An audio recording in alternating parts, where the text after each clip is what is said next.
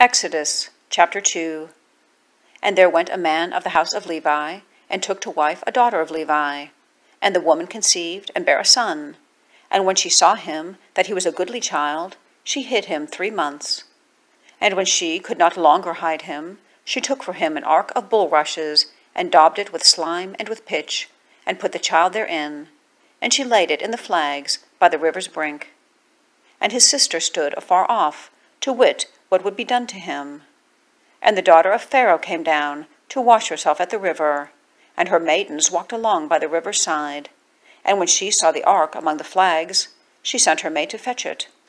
And when she had opened it, she saw the child, and behold, the babe wept.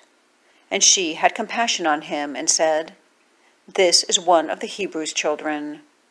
Then said his sister to Pharaoh's daughter, Shall I go and call to thee a nurse of the Hebrew women, that she may nurse the child for thee? And Pharaoh's daughter said to her, Go. And the maid went and called the child's mother.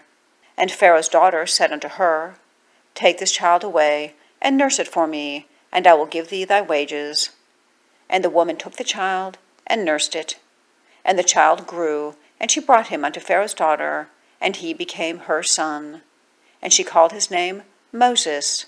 And she said, Because I drew him out of the water. And it came to pass in those days, when Moses was grown, that he went out unto his brethren, and looked upon their burdens. And he spied an Egyptian smiting an Hebrew, one of his brethren. And he looked this way and that way, and when he saw that there was no man, he slew the Egyptian, and hid him in the sand. And when he went out the second day, behold, two men of the Hebrews strove together. And he said to him that did the wrong, Wherefore smitest thou thy fellow? And he said, Who made thee a prince and a judge over us? Intendest thou to kill me, as thou killedst the Egyptian? And Moses feared, and said, Surely this thing is known. Now when Pharaoh heard this thing, he sought to slay Moses. But Moses fled from the face of Pharaoh, and dwelt in the land of Midian, and he sat down by a well.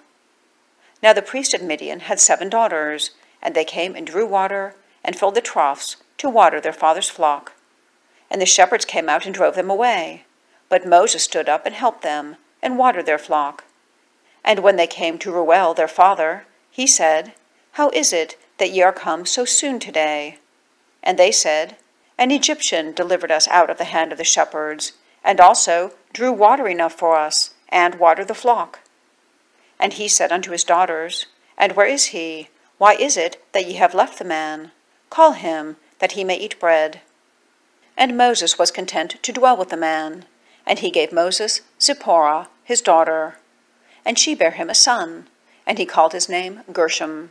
For, he said, I have been a stranger in a strange land. And it came to pass in process of time that the king of Egypt died, and the children of Israel sighed by reason of the bondage, and they cried, and their cry came up unto God by reason of the bondage. And God heard their groaning, and God remembered his covenant with Abraham, with Isaac, and with Jacob. And God looked upon the children of Israel, and God had respect unto them.